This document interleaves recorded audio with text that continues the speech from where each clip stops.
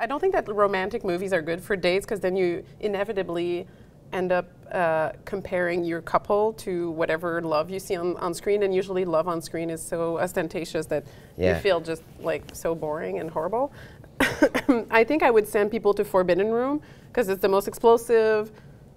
Louis Negin, kind of sexy uh, with the bathrobe, maybe, maybe not. Sure. Uh, and it's just such a vital movie. There's a ton There's to talk more, about. way more nudity in Forbidden Room than anything There's more else, nudity, so maybe you know, you get what you wanted in the end. Yeah, I, w- I would go actually with uh, uh, American Cousin, because that's uh, sweet, and uh, we're showing it as uh, part of our. Open Vault uh, Yeah, cool. uh, series, a new DCP. Uh, it's again about American Canadian relations. And it's about a young girl who's growing up in a it's a sleepy summer in the Okanagan and she's bored and desperately thinks nothing ever happens where she lives and um, then her American cousin with the slick back hair and the convertible and the uh, t-shirt rolls into town and she falls in love and like he's really exciting and and you know uh, um, you know stuff ensues. So I, I would go with that one.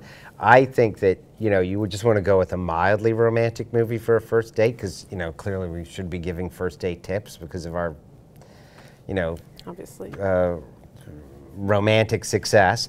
Uh, um, uh, you know, everybody who's successful roma- successfully rom- uh, a successful romantic has dead animals surrounding yeah, them. Yeah, look at us. Uh, it's like all things dead. Who doesn't Uh, want this?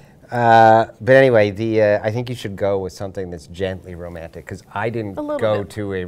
I once had my worst first date was like I took somebody to see Vampires Kiss, the Nicolas Cage movie, and she never spoke to me again, uh, Yeah. which was okay. Just but, don't bring uh, Nicolas in the in the love mix. It wasn't. That's It wasn't. I thought the movie out. was hilarious, but Except uh, Moonstruck. Moonstruck works. That's it. Norman Jewison. See, Canadian. Yeah, there. Yeah, that would be. We got it. That would work. Or we got it. Actually, we got it. Moonstruck.